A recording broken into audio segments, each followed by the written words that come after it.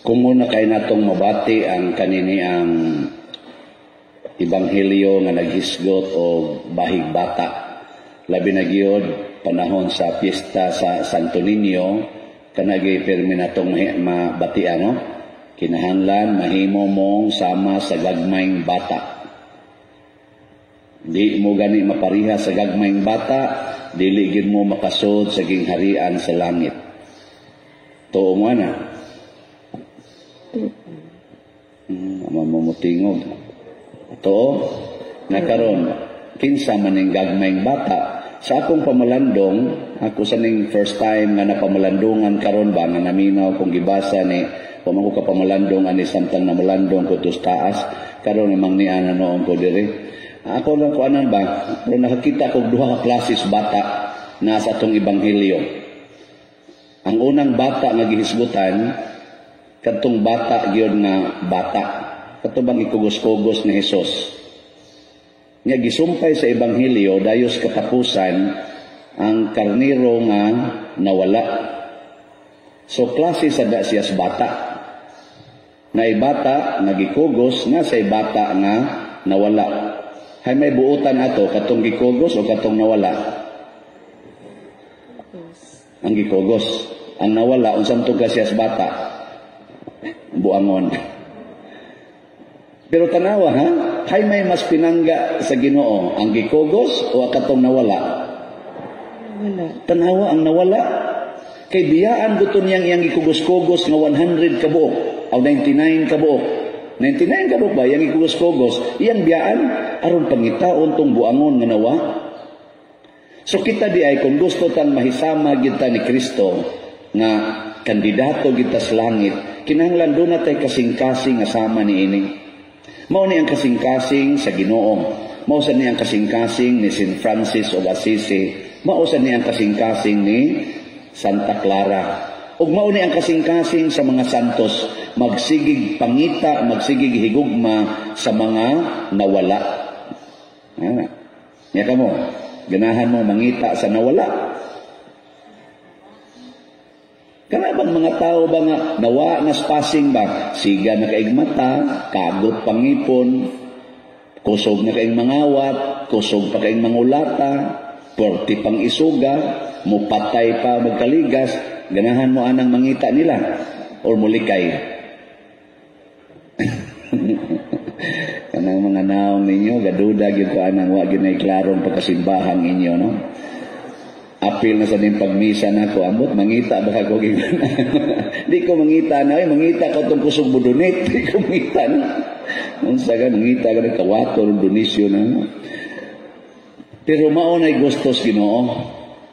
Mao na nga kanibitang gibutan diri sa atong tubag sa salmo. Nindot man kay no atong tubag. Unsa ganito katamis Tagamtam tagamtamon sa imong saad. Unsa may saad sa Ginoo nga tamis kayo. Kana gong ningon sa kun mosunod kanako ug mamatay ka uban nako, mabanhaw ka uban nako ug adto ka magpuyo sa akong gingharian. Ha, to? Haron kun asa ako atua usab ka didto.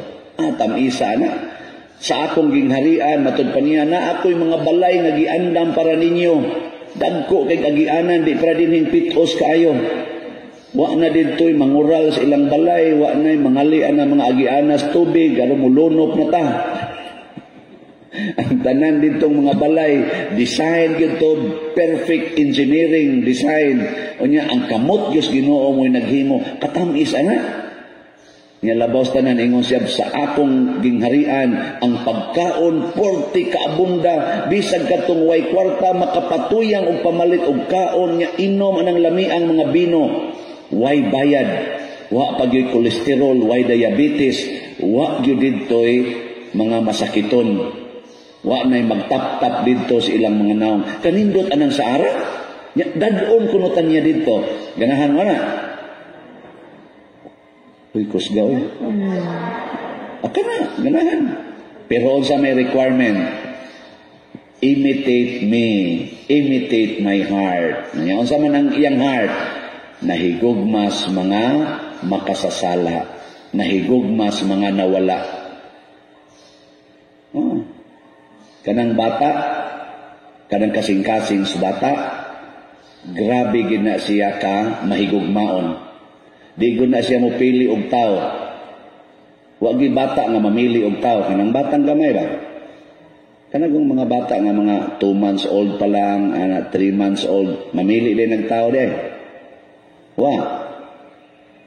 Musalig siya sa tanang tao. Nya tungod anang iyang pagka mapaubsanon kay kanigong mapaubsanon kana man nang mudawat bisan unsa kanang wa reklamo ba mudawat ra gyud tungod sa pagka mapaubsanon sa bata nga murabag kuha ra siya kanang helpless ra siya sugot ra siya kinsay mo gunit niya kinsay mo dala niya sugot ra siya tanawa di badali kay tang ma-inlove sa bata wa gitaw bisag unsa ka bangis nga dili ma-inlove sa batang gamay. Zaman, agree, disagree? Agree. Ang buang ragyod mo, hindi ma-inlove sa bata. Hmm. Mura na. Kanang kusog ay mangusi sa bata, mga buang na. Kanang kusog ay manghapak sa bata, buang na. Hmm. Nya ka mo, masama mo, tarong o buang. Di mo kusog mangusi sa bata.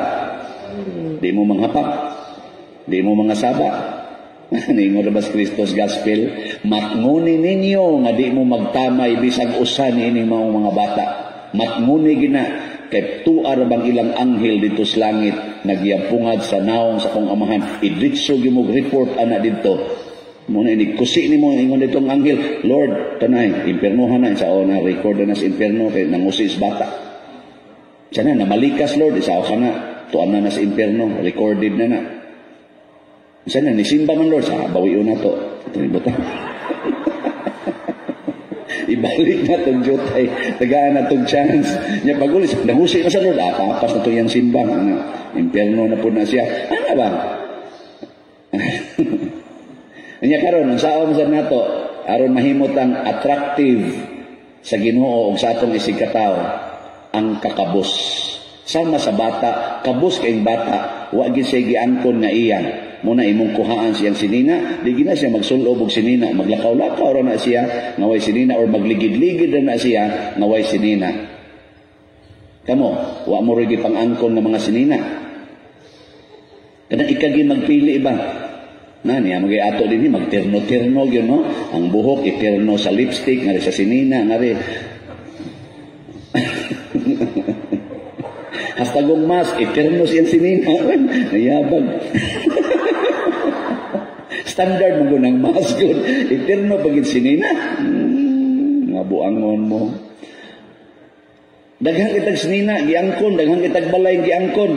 Ang resulta, igihan kay tastanan, masukano na ta, di na ta presbata nga single-heartedness, pure-heartedness. Kaya kanagong tao nga way giangkon, kanabang tao nga mapaubsanon, ang kasing-kasing sa dana, perming limpyo. Muna si Santa Clara, limpyo kay kasing-kasing, kay mapaubsanon man siya. Gisintro niya paghigugma ang ginoo, si Kristo ragyon. Nya kay ang gihigugma ni Kristo mauman ang mga kabos, gihigugma sad ni Santa Clara ang mga kabos. Nya giunsa niya paghigugma ang mga kabos? Nipuyo siya sa kakabos sama ni St. Francis of Assisi. Dato man sa nig pamilya si Santa Clara, gibiyaan po niyang iyang kadato nagpuyo siya sa kakabos. Kay di kita kahigugmas mga kabos kung di ta mo puyo sa kinabuhi sa usa ka kabos. Hmm. Kani bitaw din sa atong parokya karon na daghan kayong ni donate. Daghang ni donate ba? Kani mga ni donate kasagaran ani nakasinati sa kakabos. Adi mo mo yun. Pero kanang dato gid sila daan, tagsa na kay ni donate diri nga dato gidaan baka nang gikas pagkatao dato gyud kasagaras ni bati nato kadtod yung ni Agis Kalisod. Ana niya labi nagmoingon ko wa na ko mudawat og stipend kay akong i-donate nga simbahan sila kaluoy ni Father oy atong tabangan nga nailad pod adi Newa ko magiladan kamo sa no? Inyo sa tuntuan dayon na naligas kita kung babagan Wa sa kumudawat og stipend, pangutan na ato opisina ni dawat ba ko wa oy. At mga tanyo nga duda na nako. Gana ba? Nabang kakabos ba? Ya kabos ba kita din eh. O dagang kay ni donate. Sa ako bitang gipamaligya, kato bang gipamaligya nako nga tag 20,000 ba? 40 raman to kabuk no. Nya bali raman nag 800,000 kung mahalin ang tanan. Nya kay ngatong bayron nun na eskurente kay 900,000 maday kapin. Motonin ko ang konon ko nala ng 100. Daghan kay naluoy. Napunan god og pito ka buok. Oh. 47 na kabuok ang nipalit sa atong tag 20,000. Ah, kaubang gyapon na sila atong number of perfection. Pero karon mo declare nako close na. Ah, close na. Tutob lang ta 47. Haron na pagid siya nasod sa 40. Nya kung doon na pagid ganahang mo donate, ganahang mo donate, adto na nato sila i-charge sa ato sang dako-dakong bayronon nga 2 million pakapin sa atong mga contractors. Ah, di ba? ma, ma lain na sa itong perfection. Kaya lahi sa ning perfection na para sa atong sound system. Uh, lahi lang sa din siya. Kung mo donate gyapon mo, adto na sad. Pero nagpaila lang ni nga mudawat tag donation tungod kay nagpakakabusta. Wa ta magpakaaron ingnon nga dato ning atong parokya. Kabus ang atong parokya. Pila ra gud kolekta. Dili paigo sa among gikaon diri. Dagko kay migkaon. mga daot o lawas di ako mga kuyog pero basta nagko ang kaon unya di ra ba mohunong og kaon tagupat yun tagil makakaon kada adlaw hasta gud snack kanon lang gyapon kanon nga daghan-daghan biya mi dinhi nga na pa nato mga workers dinhi kani nagtrabaho. Amo sa nang iapil kaon kay magladok-ladok mo sa slaway di kaon amo ah, apil po sila. So pirmi tangga pista dinhi nya sa liga nato atong kolekta oy usara na kaadlaw duha kaadlaw urot na na namog kaon. Pero tungod sa daghan kay donations na nagko ng among tiyan nilamurok ang among naong. Salamat sa mga maluluyon, sa mga kabos ng mga bata. Hmm, sige, manindog na ta mga maluluyon. Ano ba mo donate donate